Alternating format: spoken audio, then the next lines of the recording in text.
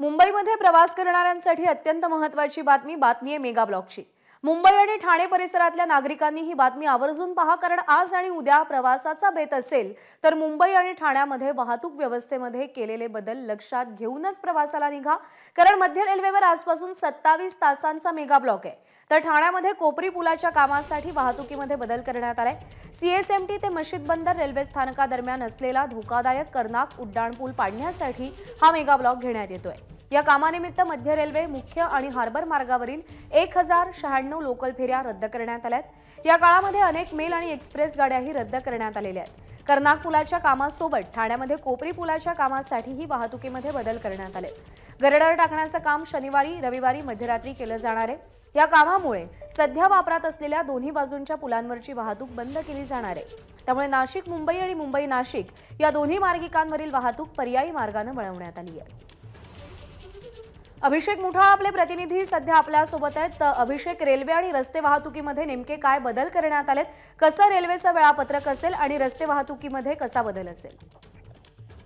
प्रज्ञा अ, चौथा ब्रिटिशकालीन हा पूल आहे जो इतिहास जमा होणार आहे. कारण ब्रिज हा सीएसटीएम ते मस्जिद बंदर या दोघांच्या मधात हा ब्रिज आहे. प्रामुख्यानं जर का बघायचं तर मोठ्या प्रमाणात रेल्वे वेळापत्रक जे आहे ते कोलमडणार आहे. अनेक ज्या एक्सप्रेस आहेत त्या रद्द करण्यात आलेल्या आहेत.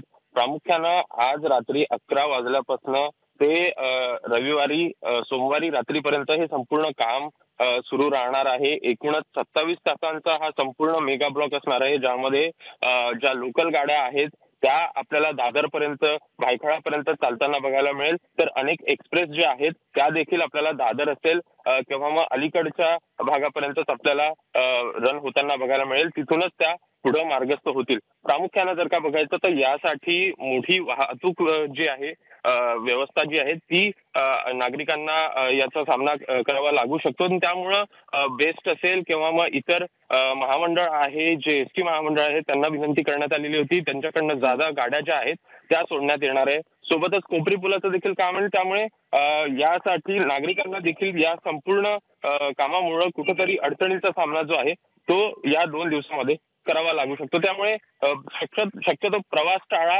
एकूणच मुंबईमध्ये जर का यायचं असेल तर वाहतुकीचा जो सामना आहे तो नागरिकांना करावा लागू शकतो.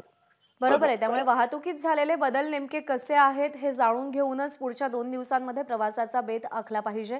अभिषेक धन्यवाद दिलेल्या माहितीसाठी.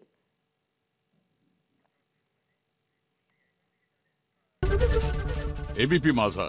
उघडा डोळे बघा नीट.